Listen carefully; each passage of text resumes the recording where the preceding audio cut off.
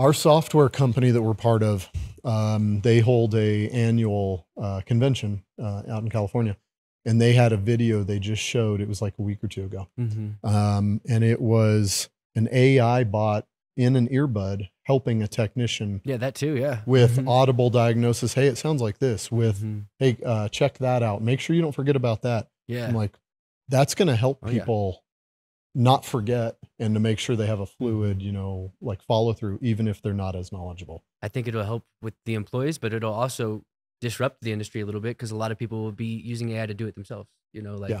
to because I've fixed That's a lot true. of things recently, and like it tells me things I didn't even think to think about. You know, so that's, That's going to be interesting as well too. yep. Most people people will still not want to do that though. Yeah. So that you there's the job's still going to be needed.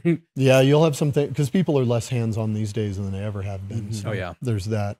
But if they have a mechanical inclination and they're Mhm. not scared of electricity and they're Yeah. not urgent, you know, on a flood, you know, from plumbing or whatever, then yeah, they could do that. Mhm. Um, we don't have severe weather to where you'd have to have your AC within five minutes, you know, so there would be time for things like that, I think. Yeah.